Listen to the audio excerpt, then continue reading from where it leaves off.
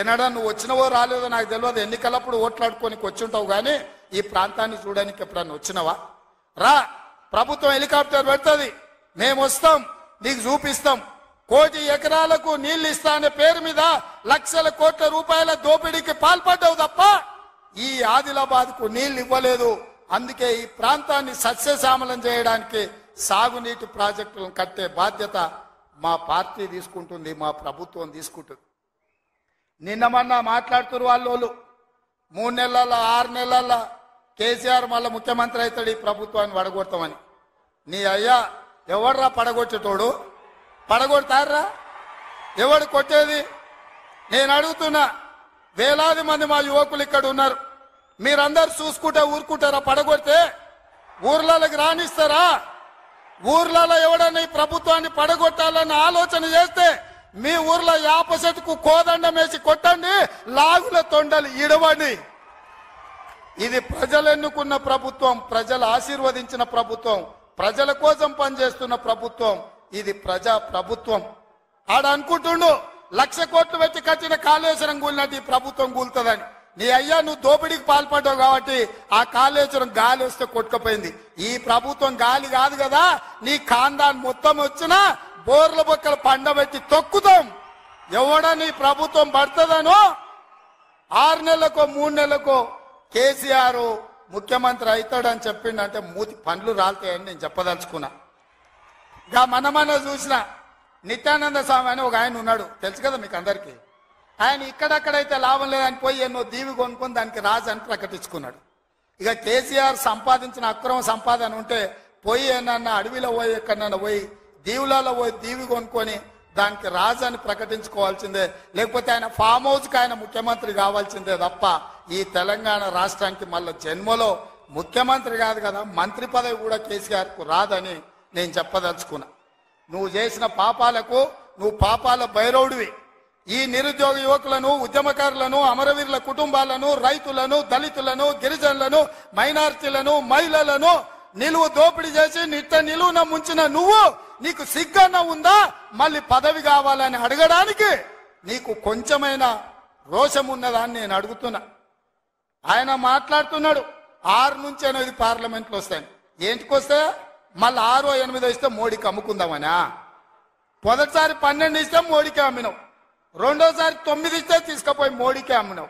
మారుబేరగాలి కాక ఈడ ఎంపీలు కొనాలి ఈడ ఎంపీలు గెలవాలి ఢిల్లీకి వెళ్ళి మోడీకి అమ్ముకోవాలి. దీనికోసమేనా నీ కేసే? నేను ఇవాళ సూటిగా కేసీఆర్ని అడుగుతున్నా. ఈ దేశంలో ఉన్నాయి రెండే.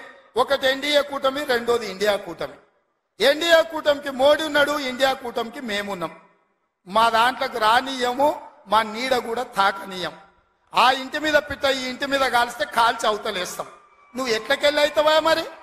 నేను అడుగుతున్నా ఎట్లకెళ్ళి అవుతావు? ఒకటో రెండో ఏదైనా గెలిస్తే ఢిల్లీలో తాకట్టు పెట్టి మోడీ దగ్గర గులాంగిరి చేయిస్తాడు ఆయన. అందుకే మిత్రులారా ఆలోచన చేయండి. ఇవాళ ఈ రాష్ట్రంలో ఈ దేశంలో పేద ప్రజల ప్రభుత్వం ఏర్పడాలి అంటే పదేళ్ళు ప్రధానమంత్రిగా ఉన్న నరేంద్ర మోడీ ప్రతి పేదవాడి ఖాతాలో పదిహేను లక్షల రూపాయలు వేస్తా అన్నాడు. ప్రతి పేదవాడికి ఇల్లు కట్టిస్తా అన్నాడు. ప్రతి సంవత్సరం రెండు కోట్ల ఉద్యోగాలు ఇస్తా అన్నాడు. రైతుల ఆదాయం రెండింతలు చేస్తా అన్నాడు. ఎవరి ఖాతాలన్న మోడీ పదిహేను లక్షలు వేసిండా మిత్రులారా? వేసిండా? నీకేమన్నా ఇల్లు కట్టించిండా? మీకు ఉద్యోగాలు ఇచ్చిండా? మన ప్రాంతానికి ఎప్పుడన్నా వచ్చిండా? పోని మీ ప్రాంతంలో ఆదివాసి బిడ్డ స్వయం బాబురావుని ఎంపీ గెలిపించిండు. మంత్రి పదవిని ఇచ్చిండా? మరి ఏమి ఇయ్యనప్పుడు ఈ ప్రాంతంలో మోడీకి ఓటెందుకు వేయాలని నేను అడుగుతున్నా. మీరు ఆలోచన చేయండి. ఇవాళ మతం పేరు మీద ఒకడు మద్యం పేరు మీద ఇంకొకడు రేపు ఎన్నికల్లో ఓట్లాడగానికి వస్తారు. ఇవాళ మతం పేరు మతం ఒక రకం మత్తు అయితే మద్యం ఇంకొక రకం మత్తు. మోడీ కేడీ ఇద్దరు ఒక్కటయ్యి కాంగ్రెస్ను అడ్డుకోవాలని చూస్తున్నారు.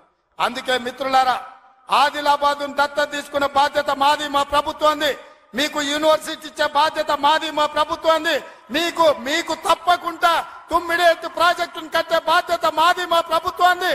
తప్పకుండా సదర్మాట్ పూర్తి చేసే బాధ్యత మాది మా ప్రభుత్వంది.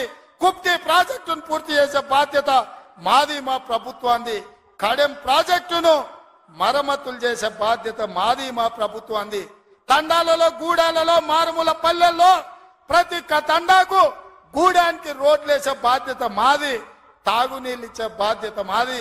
పేదోళ్ళ పిల్లలకు చదువుకోవడానికి పాఠశాలలు ఏర్పాటు చేసే బాధ్యత మాది. ఈ రాష్ట్రంలో రెండు లక్షల ఉద్యోగాలు నింపే బాధ్యత మాది.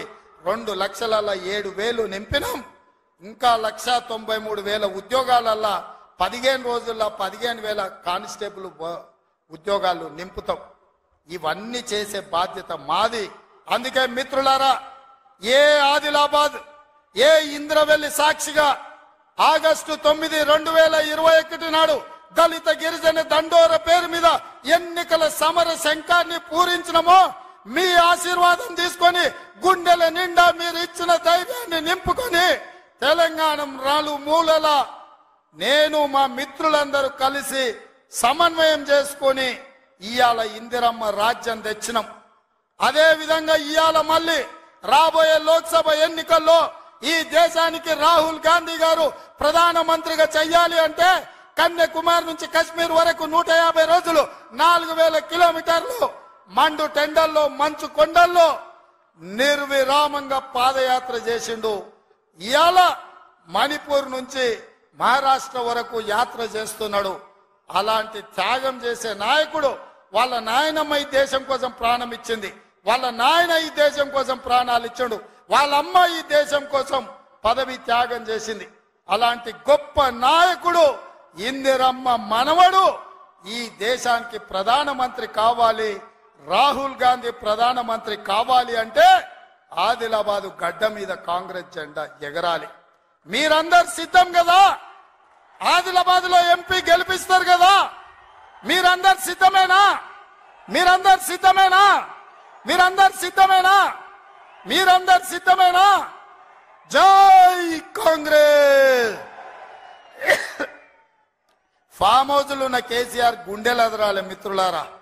జై కాంగ్రెస్ జై జై కాంగ్రెస్ జై సోనియమ్మ జై జై సోనియమ్మ ధన్యవాదాలు మిత్రులారా